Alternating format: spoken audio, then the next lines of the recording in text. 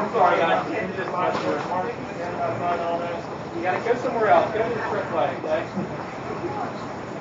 Over here?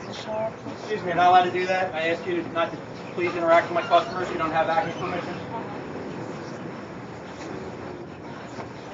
Excuse me, you can't go in there, ma'am.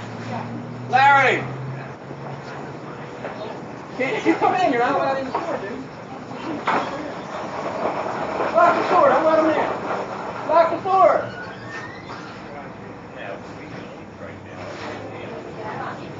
Just don't let these guys in, that's all. You gotta leave my store, please.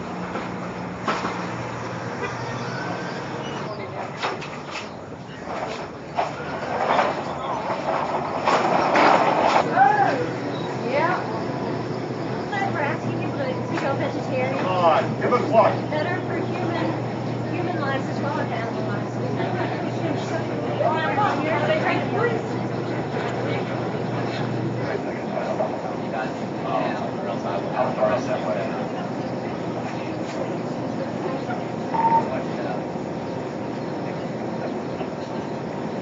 Can you take this stuff out of their hands and you face product? We're asking you to by going vegetarian. Vegetarian animal as well as human.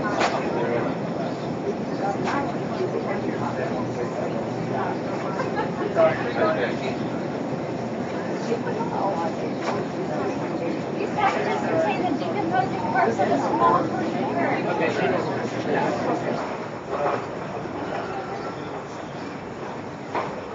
Hi, we're asking you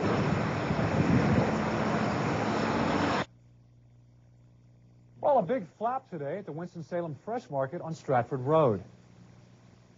Stop the torture, stop the pain. Killing turkeys is a shame. Police arrested two women protesting cruelty to turkeys. Now, the women are known as commando chicks from the group PETA.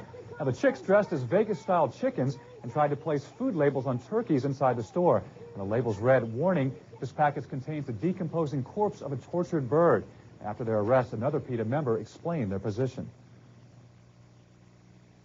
Turkeys lead short, miserable lives and die really violent, gruesome deaths. And we want consumers to know if they're buying turkey, turkeys and eating meat, they're supporting cruelty to animals. Both women were charged with first-degree trespassing and sent to jail. They are still in custody tonight. Their bail has been set at $1,000 each.